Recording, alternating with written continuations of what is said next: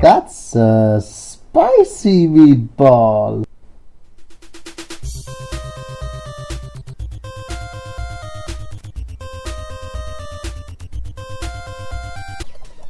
This is episode two of the Simpsons arcade playthrough.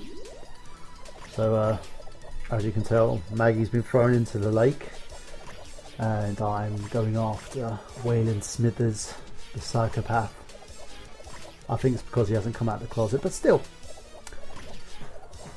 And um, as you can tell, this is a side scrolling beat 'em up. Now, again, we're doing a uh, competition for a chance for yourselves to win 2,100 Xbox Live points. Imagine what you could do with those points. You could uh, give them to your family members or download downloadable content or even get the Simpsons arcade game with a lot more points to spare. I think I'm on the seventh continue now. But yes.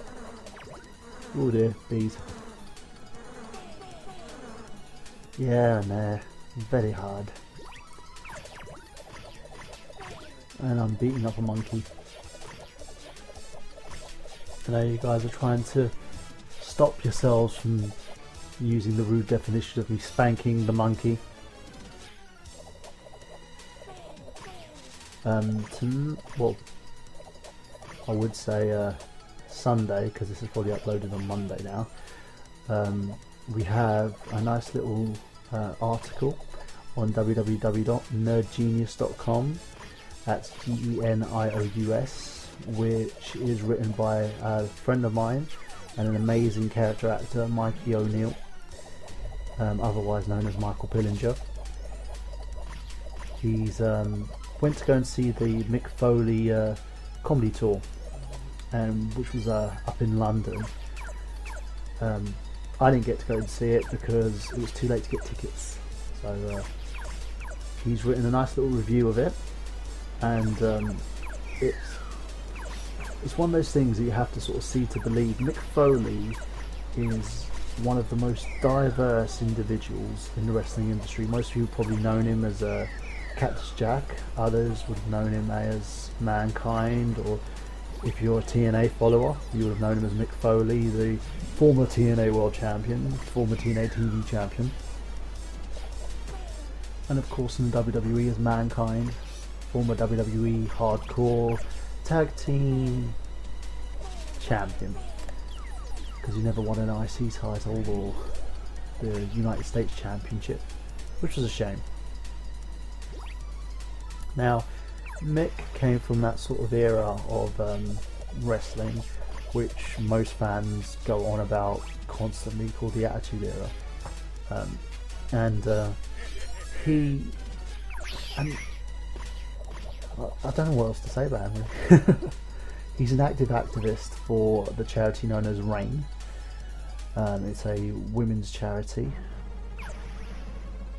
which talks about um, for one, it highlights uh, sexual abuse,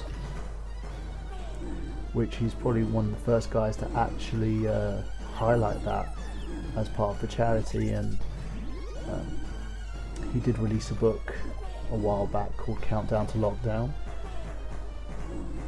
Apparently, it was a really good book. I haven't read it myself, so I'm going to pick up a copy at some point and he's also oh yeah he's a New York Times bestseller. So that's how diverse this guy is. He literally went from being um, a deathmatch hardcore wrestler and he redefined himself as this character in the Attitude Era and then became uh, the Commish. Wrote loads of different books, um, Hard Knocks and Cheap Pops, I believe, was the believe it was the first one. I might be wrong. Um, and literally, he's probably one of the most friendly, well-versed individuals in the wrestling industry, and he's he's also been the butt of a few jokes in the WWE as well. You know, not he's been engrossed in storylines. Um, that you wouldn't normally see a guy like him like placed in. But he's also one of these old time wrestlers that can actually get someone else over, even though he's oh going after Maggie. I'll continue that thought process in a second.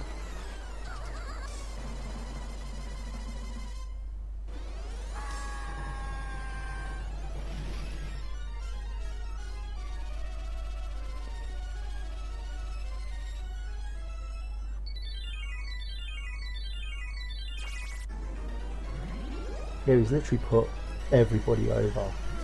Um, that what that he could do. You know, guys like Edge, he gave him an amazing hardcore match at WrestleMania. Randy Orton as well. Him and The Rock um, were defeated by Randy Orton and I believe it was Batista at WrestleMania. Um, and he's also put Orton over in a hardcore match, which was brutal. And uh, it's a testament to both guys, including Randy Orton as well, because he took thumbtacks to the back. Not something that you'd usually see on a pay per view, especially when you're looking at someone like Orton as well, who doesn't have much padding when it comes to his rather defined look. Oh, Mario's beating me up.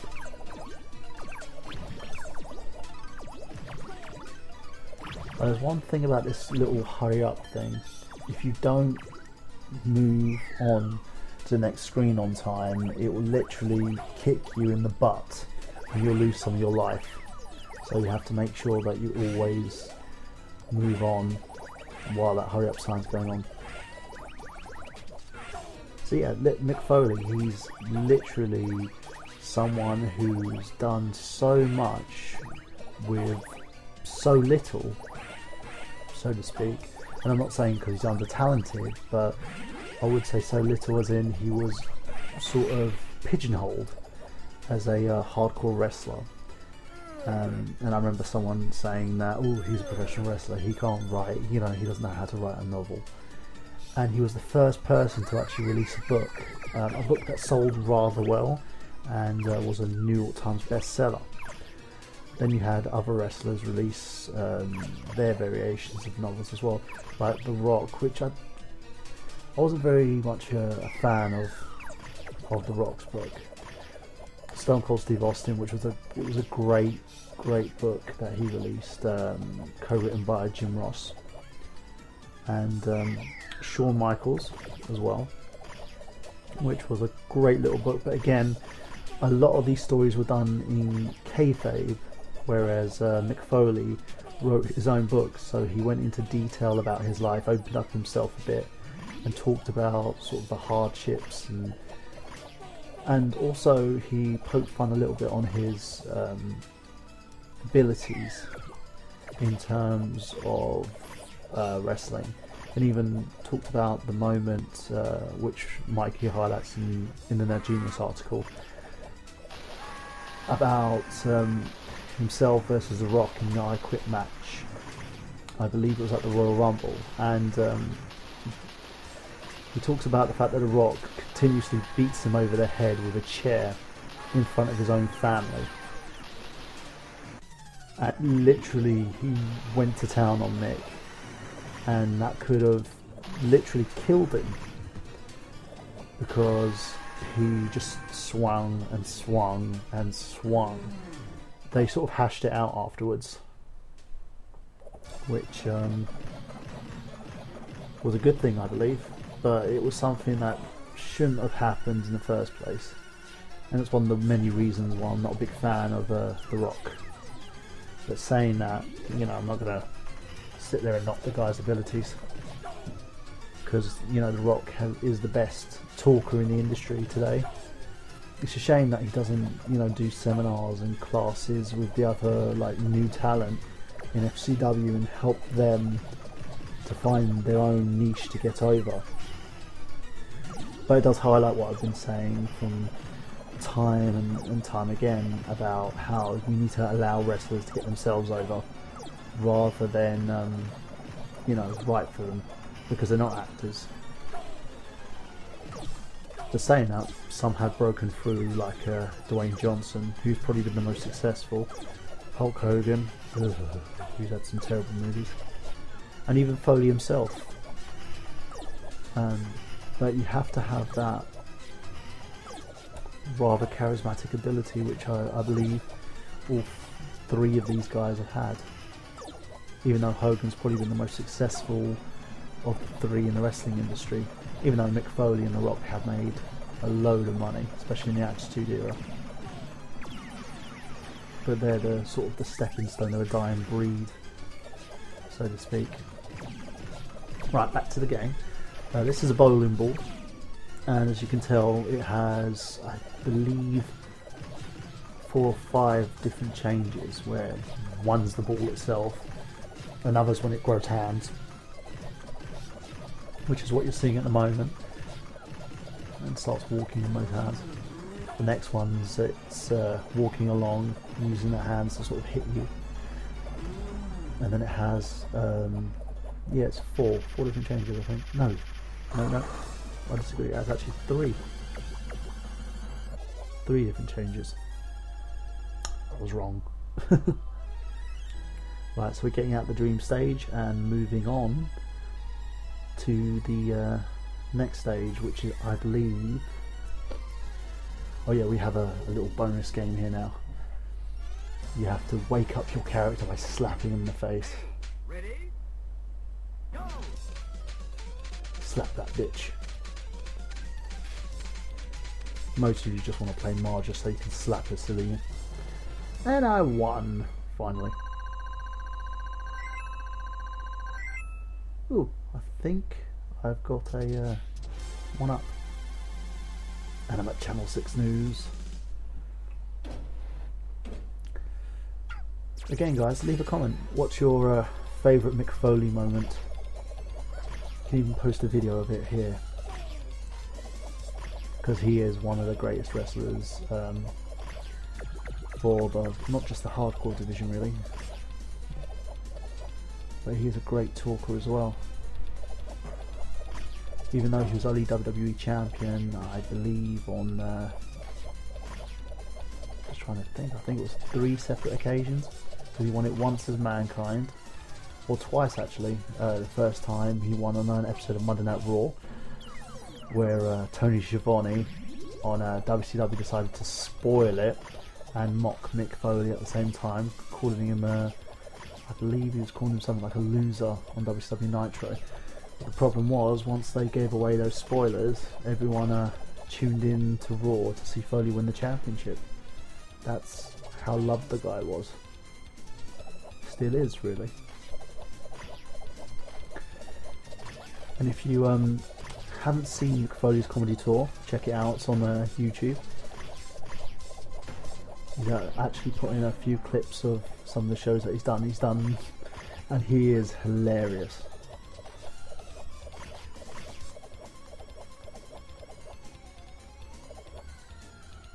See me going through channel 6. Ooh, look, a space background.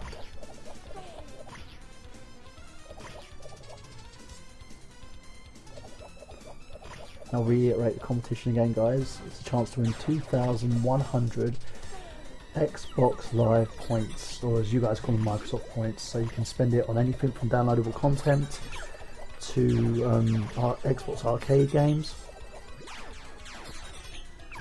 or if you want to hand it out to family members, if you have a uh, Xbox Live family account,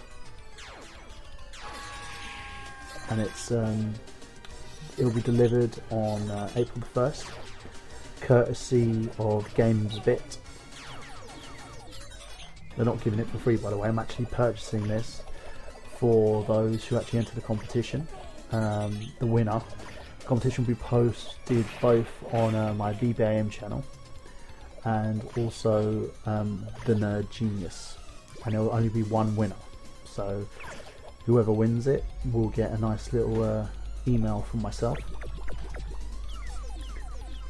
and uh, I'll just ask for your email address and I'll send it to you directly via email because that's how GamesBit does it. You don't have to actually get a scratch card sent via the post, you just get an email. So just do me a favour and don't sell it on eBay, which a lot of you tend to do.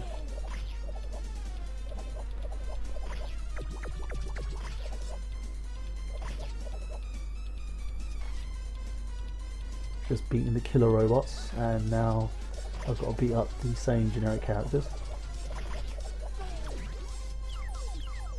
It does get mundane when you're just pushing a button, hitting these guys. But there is a sense of accomplishment there, or some sense of it.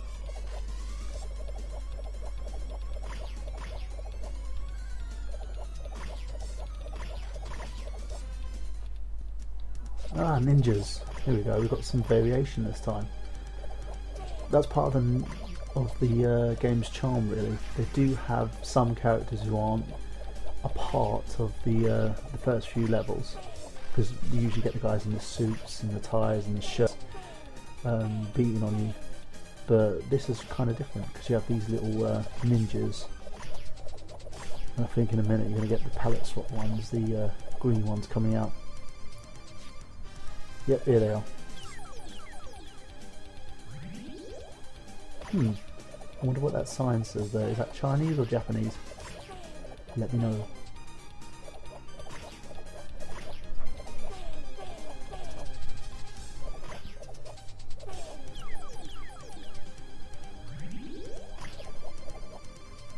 Oh yeah, remember, to enter this competition, you just need to like either the Nerdgenious or my channel BBAM, BBAYM, and the other channel is the Nerdgenious, N-E-R-D-G-E-N-I-O-U-S. The reason why I'm using both channels at this point in time is because I'm going to be slowly moving um, all my playthroughs and my uh, various Nerdgenious product, uh, projects, should I say not products, projects, to my um, the Nerdgenious YouTube channel. It's so I can get the channel uh, as a director's channel for either Machinima or the Game Station or some one of those channels basically.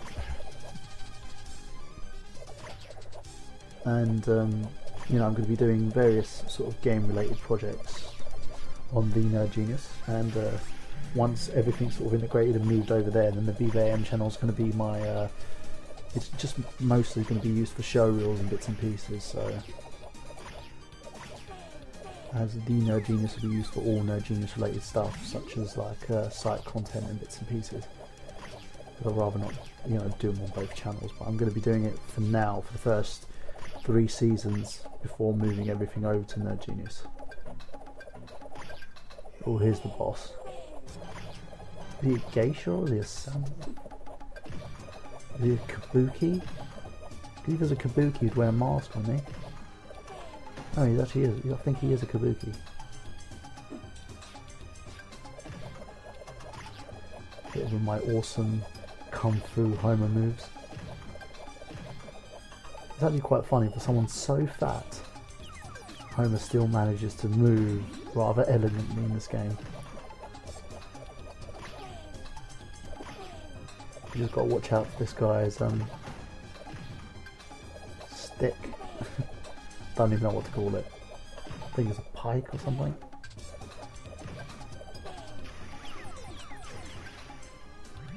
Or staff, if you want to, want to call it a staff.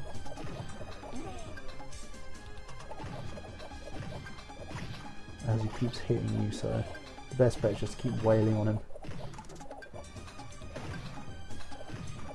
And I believe this is the second to last level, so video 3 will be the final level, where we face William Smithers. I believe we're on 9 continues now. I may be wrong.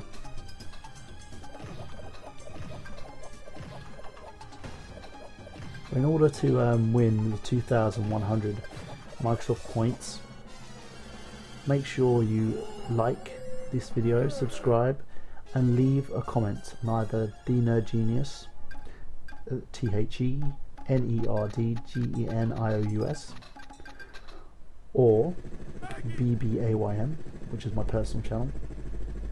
You like, subscribe, leave a comment and it has to be a Simpsons related comment. So you have to do something rather funny but more Simpsonsy, if that makes sense. Anyway, guys, that's the end of episode two, and I'll see you in episode three. Oh, while I'm walking through. Ooh, shiny.